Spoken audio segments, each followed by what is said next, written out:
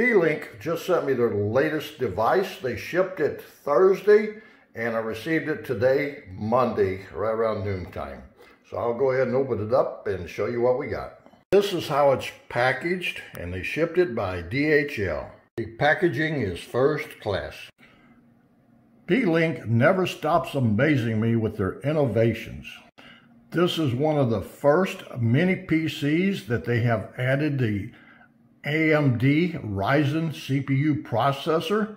I've been building computers for about probably about 20, 25 years, and I've always used the AMDs.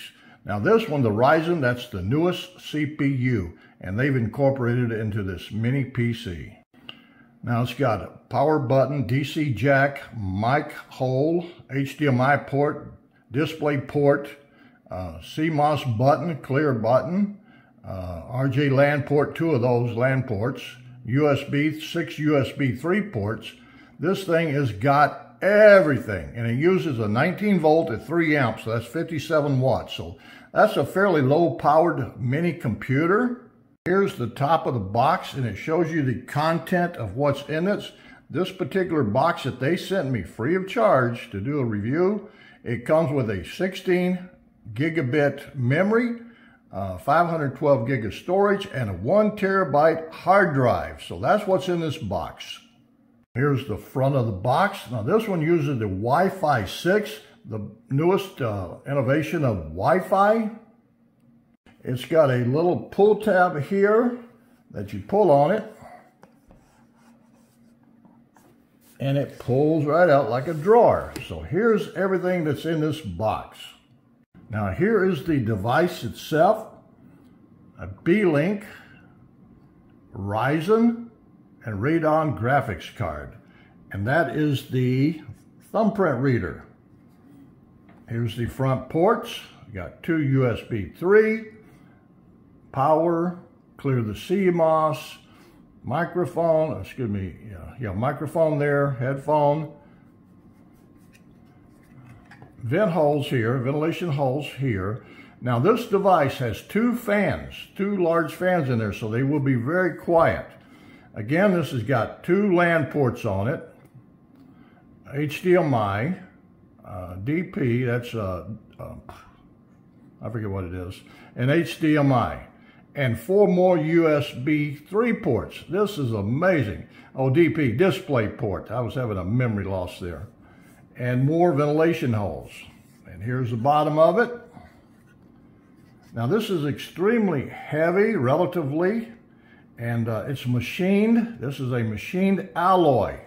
So very nice case, extremely nice case. And it should keep it very warm with those two fans. So that's what it looks like here's the manual, and it comes with uh, seven different languages, but it's just a minor little manual. Tells you how to hook it up. Contents. Basic operation, buttons and ports. So that's the manual. Here's the instructions on a hard drive installation. DD4 memory installation, uh, SSD card installation, and a two and a half inch HDD installation. So you can install several different items on this. So that's instructions on that. Deep in the bowels of the box is the accessory kit. So we're going ahead and open that up. Okay, that's the accessories. Here's the power supply with the American uh, plug, so that's for the USA. Here's a mounting bracket to mount to the back of a monitor or to the wall. Uh, a great device to mount directly to the back of your monitor or TV. One short HDMI cable. Now this is to be used if you mount the box to your monitor.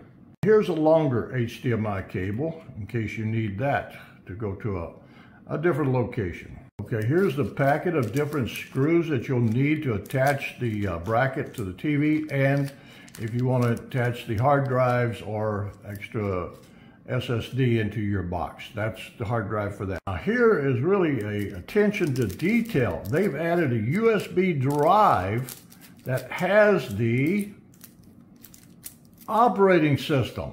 This has got the OS disk. I'm sure that's a Windows disk, 16 gigabit car stick. So I guess that's what it's got only, but that's the first device I've seen that came with an operating system on a pen drive. So that's excellent.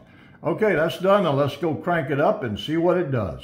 Okay, it does not come with an operating system installed. So that little pen drive, you put that on one of the USB ports, then you hit F7 and you come to this menu, then you pick the, uh, the uh, USB disk. So we're gonna go ahead and do that.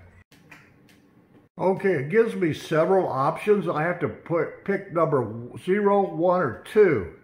Now the zero is the hard drive and the number one is the uh, 500 gigabit internal storage. So I think I'm going to pick that one. But the other thing is it says free zero bytes. So I'm not sure about that. So I'm going to go ahead and pick one anyway. Okay, it appears to be working. I wanted it on that uh, 500 uh, internal uh, memory, not on the uh, hard drive. So I think that's working. What it's doing now, it's installing the Windows 10 operating system on that internal storage of 512 uh, gigabit of memory. Ladies and gentlemen, this is one mean machine. The manufacturer is AZW, model GTR, and it is processor is an AMD Ryzen 5 3550H with Radeon Vega. This is one mean machine. Since there was no operating system, I had to use that pen drive as I showed you.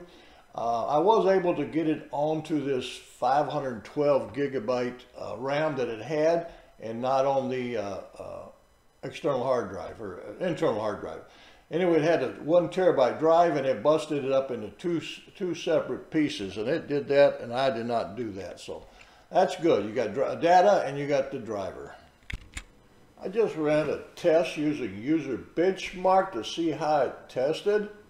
Gaming 21%, desktop 86%, and a workstation 60%.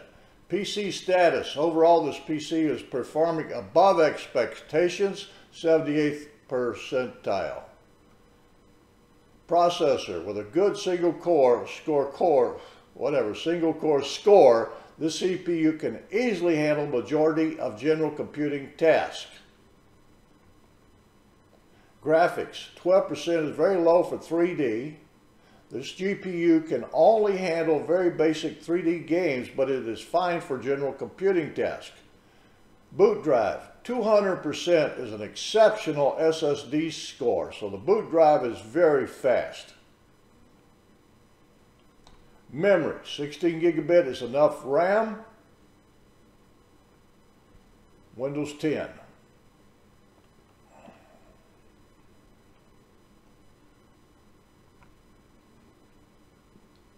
Benchmark 63.4. The graphics is kind of poor, but what do you expect from a little mini PC? The SSD is super fast, really, really fast. And the one terabyte drive is 69%, which is good. And the uh, internal memory is 16 gigabyte, is six and a half, 65%. So that's not too bad. We can live with that. Just give you a little overview using CPU Z. It's an AMD Ryzen 5 Mobile 3550H and it's using a Radeon Vega Mobile graphics card. These are all the instructions, core speed. Okay, caches, main board, American Megatrends BIOS. The date on that is June the 28th, so that was uh, less than a month ago. Memory, DDR4.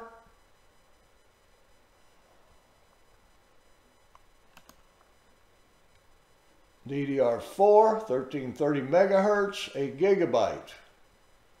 There's the settings on it. Slot one, same thing.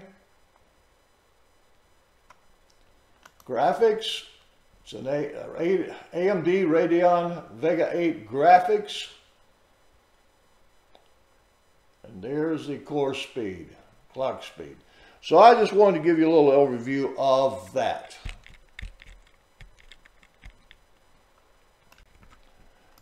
Well, that's all well and good, but what can this device do? Is it a media player? Is it a computer machine, a business machine, or is it a gaming machine? What can it do?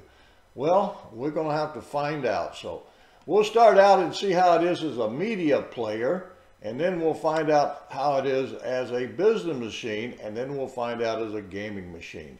So that's what we're going to find out right now.